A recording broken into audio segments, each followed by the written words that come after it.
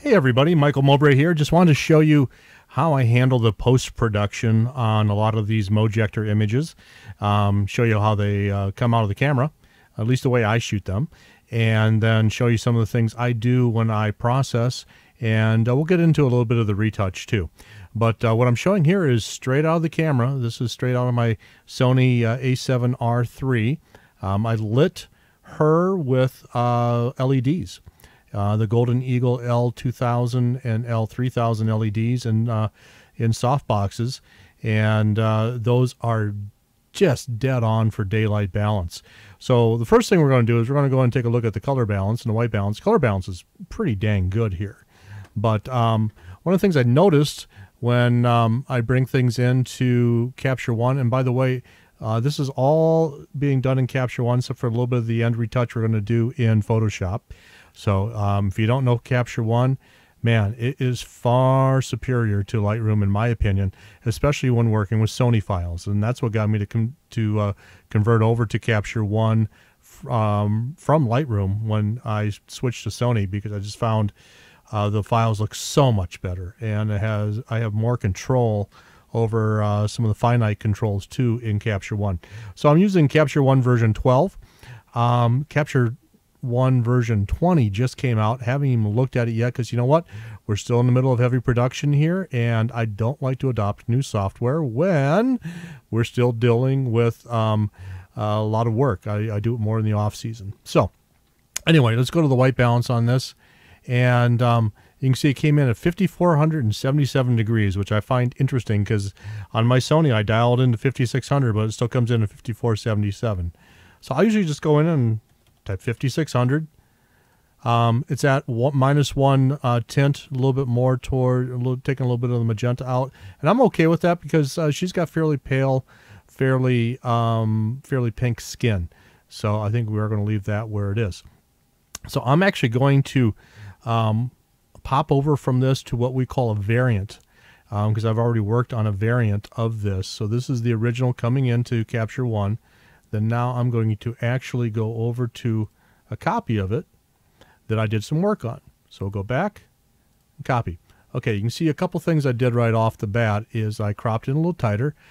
Uh, when I'm doing stuff like this as more creative work, um, I crop the raw because I want to work with um, how I envision this shot right now. I mean, how do I envision this this ending up. I want to get as close as I can to the final shot when I'm working with the raw. And that's one of the things we're going to be going through today is rather than just taking that uh, that raw file, doing the color balance and whatnot, and then rendering a JPEG and then retouching um, in Photoshop, I'm going to take this 95% of the way here in Capture One. That's the other thing I love about Capture One. So um, I can work with layers in Capture One, which is amazing. So we're just going to uh, come up here to the left and I'm going to turn off some of these extra layers and I'm going to talk through what I what I do here. So all I've done here is I've cropped and I've straightened it. It was slightly crooked, um, so I straightened it, and now I've got a good base image. Um, first thing, first thing I'm going to do is I'm going to adjust the skin. So I'm going to come in, and I've already done that, but I'm just going to redo it for you guys. I come down here to the color editor. I'm in the color uh, color mode. I come down to color editor. I can select basic advanced skin tone. I'm going to go to skin tone and I'm going to click on good mid-level skin tone. Okay. So I went back to the original image because uh, I had already done some adjustments here. I went back and took me back to the original image. And you can see over here on the color wheel, it's leaning more red, more pink. And that's basically her skin. It's December in Wisconsin, and we tend to be fairly pink folk up here. So one of the first things I'm going to do is, again, I take that sample of a good mid-tone in there, and I'm going to just take this middle of this color wheel, and I'm going to turn it a little bit warmer. And you can see her color, the her skin tone shift to warmer tones. The next thing I'm going to do is I'm going to go into um, uniformity down here under hue and it usually starts off at zero and it saved my last setting. So I'm actually going to dial that up to about 55.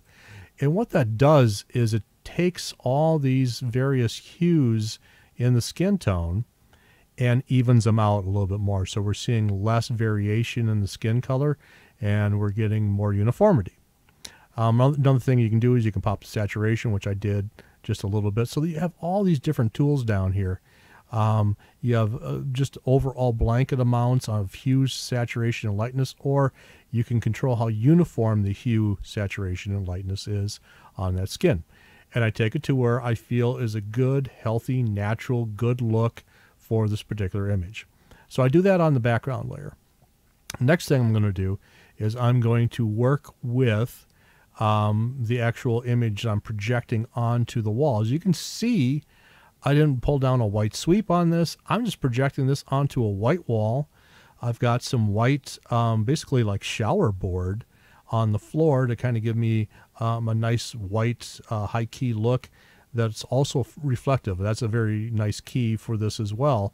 If you want to get that reflective look on your floor, you pick up the shower board at Home Depot or Lowe's or whatever. It's like 12 bucks, 15 bucks, I think, for like a three and a half by eight foot sheet, something like that. And uh, they're pain in the butt to store because uh, they take up a fair amount of space, but you lay them down on the floor and uh, they're fairly durable and they give you a nice look. Um, you can also see down here where I've got them joined together. Easy retouch in Photoshop later on, so I don't even bother uh, messing with that right now. But coming back around to, I'm projecting this image back on the wall, and as you can see, it's coming in and it's not black and white. It's not contrasty enough, at least not for where I want to be. Does this look fine the way it is? Yeah, it probably does. I want to be even more contrasty. So this is one of the magical things that you can do in Capture One. I'm going to go ahead and I'm going to add a layer up here in the left. I can click on and add a layer. Okay. And then now I can hit B for brush. It's going to pull up a brush tool for me. And then over here I can control the size, the hardness of the brush, the opacity, the flow. So I'm actually going to take the hardness up fairly high, up into the 70s and then I'm going to use a bigger brush. And what I'm going to do is I'm creating a layer mask and I'm just trying to paint on the background. And I can use my bracket keys just like I do in Photoshop to come in and change the size of the brush and right now on the brush I have it set to auto mask so it's going to try to detect oops try to detect edges here harder to do this and talk at the same time. And as I go along, it'll pause every once in a while and it'll, it'll adjust the auto mask. So I'm just trying to paint the background itself. And I'm not even worried about getting this on the floor. I want to make this actual wall more contrasty. So I'm coming in, getting that done.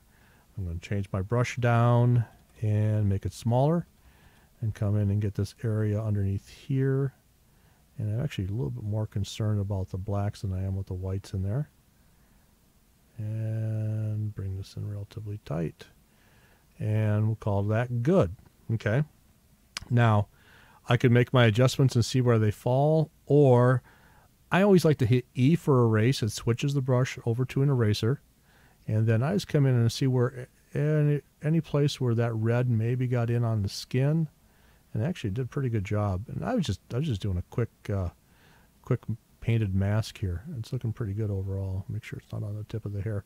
Okay, I got that. So now I've basically created a mask on just the image I'm projecting onto the background.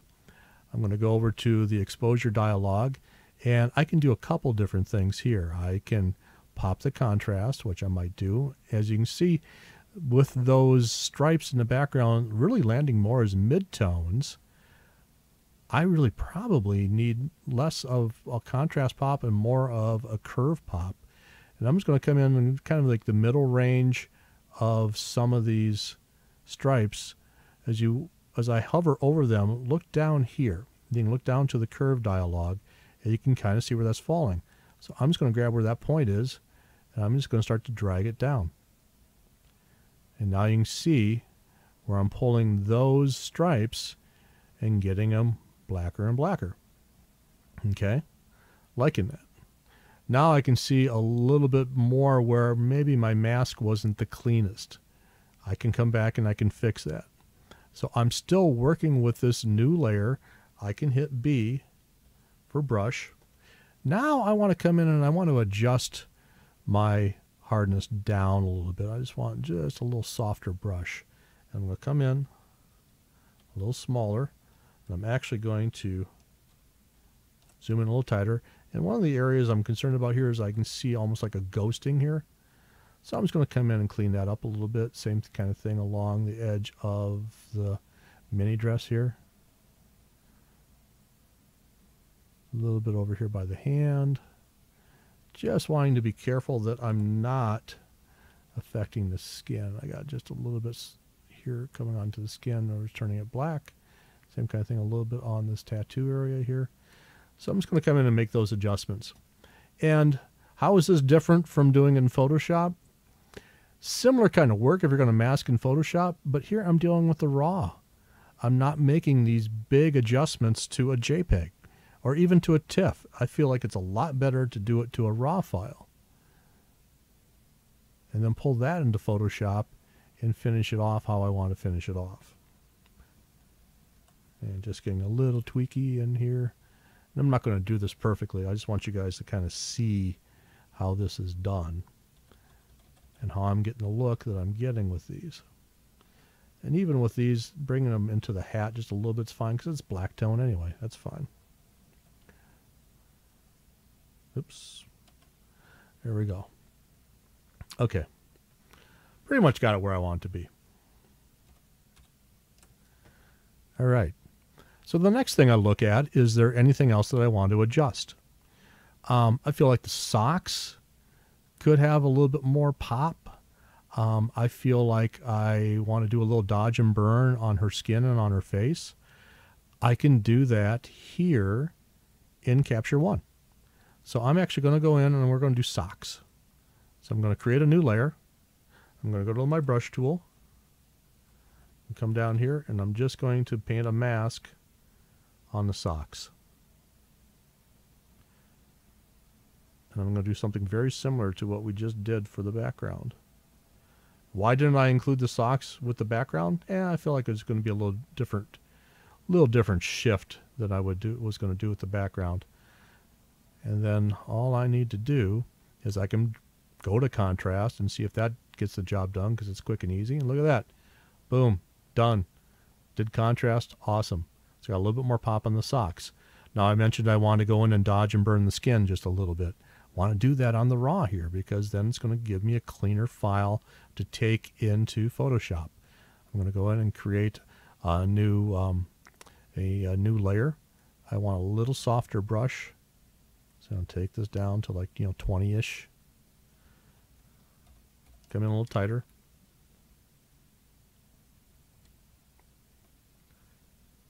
And it's not letting me go. And scroll down on, come on. Ah, stupid thing. There we go. It was being silly. All right, I got my brush. I'll make it a little smaller. And all I'm doing is I'm coming into kind of the mask of the face here. And I think I want to hit a little highlight coming down the arm here, a little highlight coming down the arm here. I can see some other uh, masking issues I had. I can go back and fix those if I want. And all I'm going to do, do there is mask that, and I'm just going to hit a little exposure move, not much. You know, I'm moving like six, uh, not even a stop, a sixteenth of a stop. 16% of a stop. There we go. Just enough to give a little bit of pop. You can turn it on and turn it off, turn it on, turn it off. Boom. No different than dodging and burning in uh, Photoshop, but again, going to give me a little cleaner file. Now, if I wanted to go in and, uh, and adjust some of these other layers, um, you can name them as you go along. I just know that this one was the one where I was working on the background. So I'm going to go take some of that off the hair. I can see where I've got to tighten it up a little bit here over by the skin. I want to work with a little darker or a little harder brush. Boom, coming in. Just bring this in tighter. There we go. Bring that in over top there. It's one of those things too. You could also come in with a Little softer edged brush at a lower opacity, but coming in and getting that pretty good overall. A little smaller brush here. So again, no different than working in Photoshop, except this is just going to give you a cleaner file and keep you in your initial program, which is uh, your processing program, Capture One, uh, a little bit longer. And that's okay. So I like it. I can just hit a Control D and I can process this out. I create a recipe, whether I want a JPEG or I want a TIFF, um, and then I take that into Photoshop to finish it off. And that's that's basically how I treat all of these these Mojector shots, especially the ones that are more graphic. If I'm not getting the level of detail on the background or level of uh, darkness and contrast on the background, I just do it in the raw process. Um, it took me 15 minutes to do this video. The actual work in doing this in Capture One is about three minutes. And to me, that's great. You know, if I can keep any retouch or prep under three minutes for a creative file, great. If I was doing a ton of different images, um, would I want to do this level of work on every single file? No. But that's not the point of doing something like the Moje- Mojector projected images. Those are for unique images. Those are for something special that you maybe mix into a session. This is not, I want to do 30 of these. Does that make sense? because I think part of um, part of the reason to do this Mojector thing is to give it something a different look. And you're doing it in camera. And a lot of people are going to say, well, I can do this in post. I can shoot this on green screen, or I can shoot this on a white sweep, and I can drop in these stripes in post. Absolutely. You definitely could. It's going to be a different look. So it depends on which look you like best. I could do that myself. There might be times I would do that myself. But other part of this too is part of the experience for the person you're photographing because they can't visualize like you can as a photographer and a creative person. They can't visualize where you're taking this image. And you do one like this and all they can see is that wall back there. You take one shot like this and you want to get that model or that customer to really buy into what you're doing, flip your camera around and show them the coolness that you just created in camera. It'll freak them out. They'll love you forever and they'll trust you the rest of the shoot. So um, I do that quite often with my senior clients.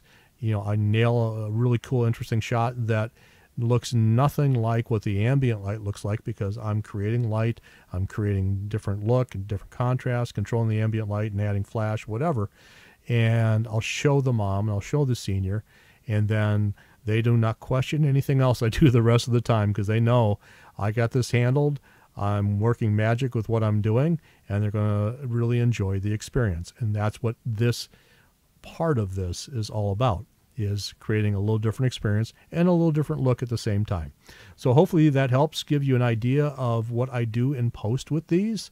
Um, I'm not going to take this one into Photoshop right now. I'll just tell you what I would do in Photoshop.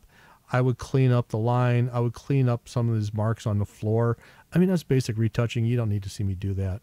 Um, right over here, I don't know if you can see this. There's a gap, and that's where the end of the stripe ends versus here. I would probably clone that over just to make a connection there because I don't like that gap right there. Um, I would fix a little bit of this up here with um, a content aware fill where we shot a little bit off the background. Little things like that. That's Photoshop. That's what I'm going to do in Photoshop is like cleaning up those little things. The major stuff I'm still doing in Capture One. So this has been Mowbray. Go out and enjoy your Mojector and hopefully this video helped you uh, figure out what to do after you've captured the image.